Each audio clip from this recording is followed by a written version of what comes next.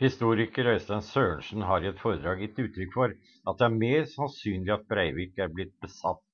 av en, et totalitært tankesett enn at han lider av en eller annen psykiatrisk diagnose, og at historien er full av personer med tilsvarende tankesett uten at det har vært vanlig å sykeliggjøre deres handlinger. Jeg har i en tidligere video gitt uttrykk for tilsvarende tanker. Som mange antagelig vet, har Sørensen skrevet en bok som kom ut for noen måneder siden, der han går nærmere inn på hva som kan føre til, og hva som kan karakterisere slike totalitære tankesett, hva enten de er sterkt venstreorienterte, sterkt høyreorienterte eller sterkt religiøst funderte.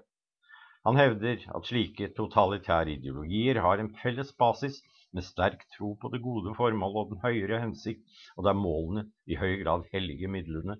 og at det totalitære mennesket finner det moralsk riktig å bruke hva som helst av virkemidler hvis den aktuelle situasjonen skulle tilsi det.